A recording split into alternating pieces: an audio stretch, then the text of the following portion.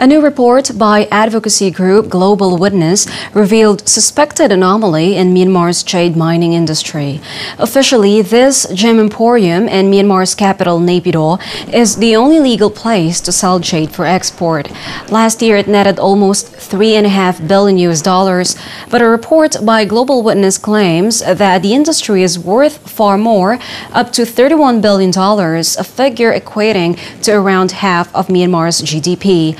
The secrecy surrounding the industry has, for some, raised questions over transparency and democratic reform.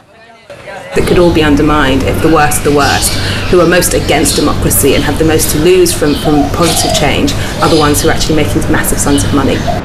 The majority of Myanmar's jade is exported to China and Hong Kong. Most of the finest stone comes from the town of Hpakant. Full-scale extraction resumed here a year ago, and locals say the area is being stripped to the core. Most of these businessmen think only about themselves, how they're gonna get jewels as far as they can, as big as they can, as many as they can. They only have their eyes on that. Huge profits are being made in the jade industry here, but little is filtering down to the local population.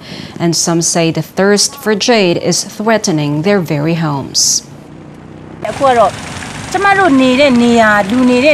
Now they are entering through the places where we live.